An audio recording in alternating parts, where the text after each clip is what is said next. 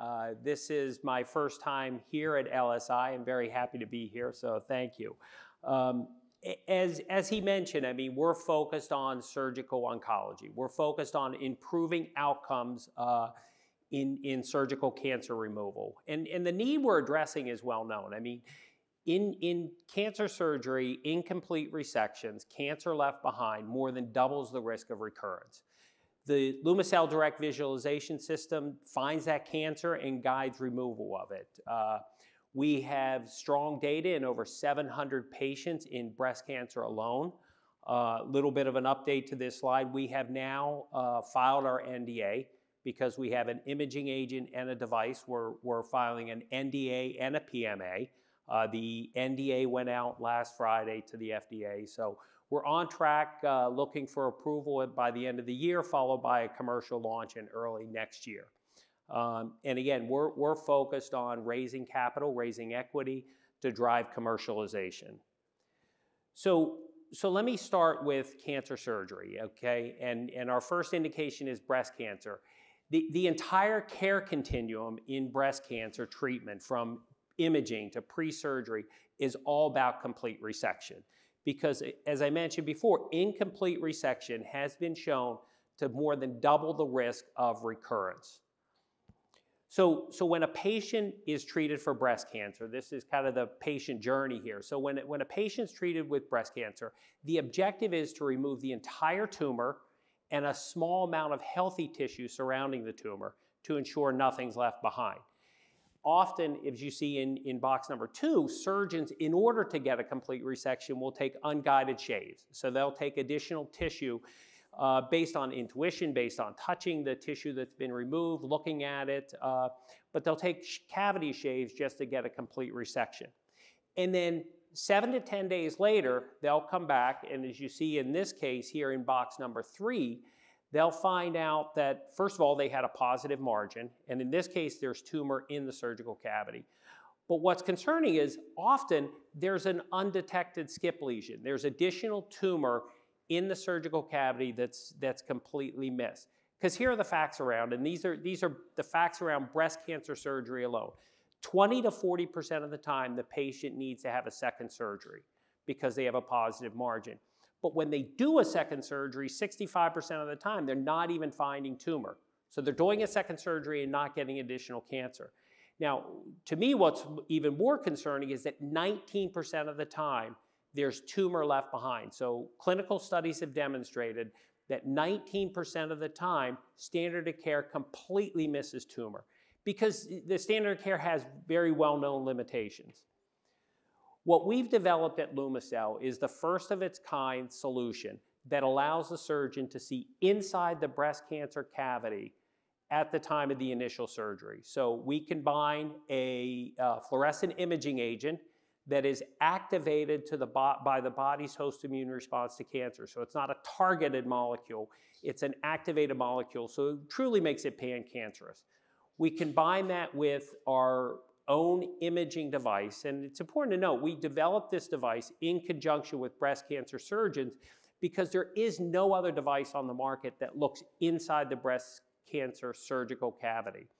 And then the third part of the, uh, of the equation here is a patient calibrated tumor detection software that guides the surgeon specifically where to take, uh, to take additional tissue that's suspected of being cancerous.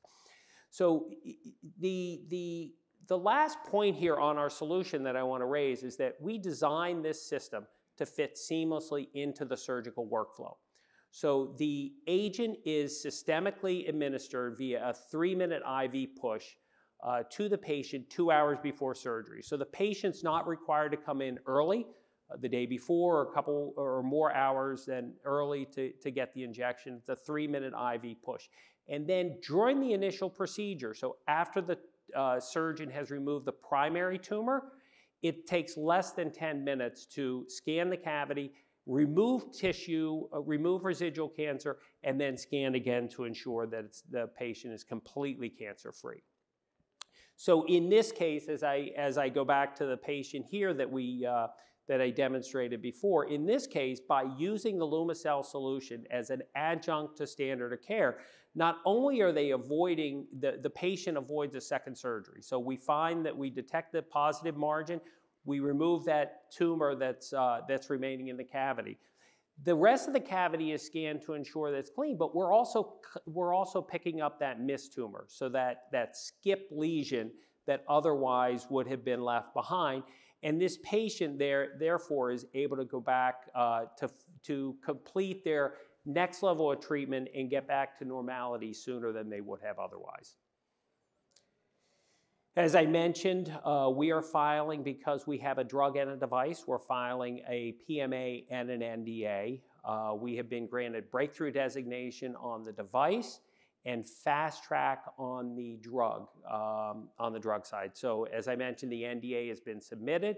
The PMA is on track to be submitted uh, by the end of April, and we're focused on, on uh, uh, approval and commercialization uh, in, in, early, uh, in early 2024. So uh, before I get to the data, the clinical data, I want to point out uh, the strength of the study. So we have some of the largest academic centers, thought leaders in our clinical trial, uh, Mass General, uh, Stanford, uh, MD Anderson, and others. And then we also, because we wanted to have a complete, very robust trial, we also have some very large community cancer centers. We completed our pivotal study, 406 patients. Um, and that data will be presented by Dr. Barbara Smith from Mass General next month at the American Society of Breast Surgeons meeting. What I'm pointing out here is it, prior to our pivotal study, we completed a pre-pivotal 234 patient study and got great results. So it, it, starts with negative predictive value. So by using the Lumicell solution, uh, our clinical data has demonstrated 98% probability that when Lumicell says the patient is cancer-free, they truly are cancer-free.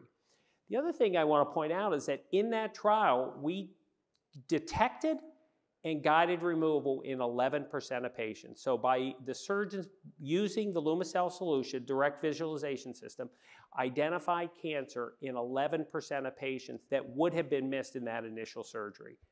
More importantly, more than half of those patients had negative margins. So more than half of those patients would have been told that they were truly cancer-free, except that we found uh, by using the Lumicell solution, the, the surgeons were able to find residual cancer. In the pivotal study, we took this a step further and we, we gathered the characteristics of that tumor. And I will tell you, it's not microscopic tumor. This is material uh, grade two, grade three tumor that's, that, that's missed in these surgeries. So, and again, that will be uh, presented next month at the American Society of Breast Surgeons meeting. You know, looking at, looking at the, the strength of the clinical data, uh, we are focused on getting reimbursement via TPT, the transitional pass-through payment, which, which fits really well into our drug device combination. We have a strong razor razor blade model here, and we're focused on driving to 300 million in revenue by year five in, in breast cancer alone. But when we think about the broader market here, uh, all solid tumor cancers, we really see this as a $4 billion market opportunity. The ability to identify and remove residual cancer using fluorescent guided surgery is a large market. You know, breast cancer alone is a $1 billion market. That's one of the reasons why we started in breast cancer here. So, so we've got a lot of opportunity uh, after breast cancer. In, in which comes down to, um, you know, what's the long-term strategy, exit, uh, exit uh, partnership opportunities. And it goes back to the, the, the, care continuum. So if you look at the major players here in, uh, in these are just in breast cancer itself. Uh, but you know, it's, it's Hologic, it's, it's GE Medical, it's, uh, it's Mammotome, Danaher, uh, and others. So, so it's, a, it's, a, it's a very large universe here of potential partnering opportunities. So I'll just wrap up where I started. Um, you know, we're addressing a significant need in residual cancer being left behind. We have uh, we demonstrated that we that we identify and remove that tumor. Uh, the program is, is significantly de-risked. We're, we've completed our pivotal study, have great data, uh, on track to submit to the FDA. And, uh, and again, raising uh, to commercialize in breast cancer. So I'll be here the rest of the, the rest of the day today. So if you'd like to learn more, like to follow up, uh, please let me know. Thank you.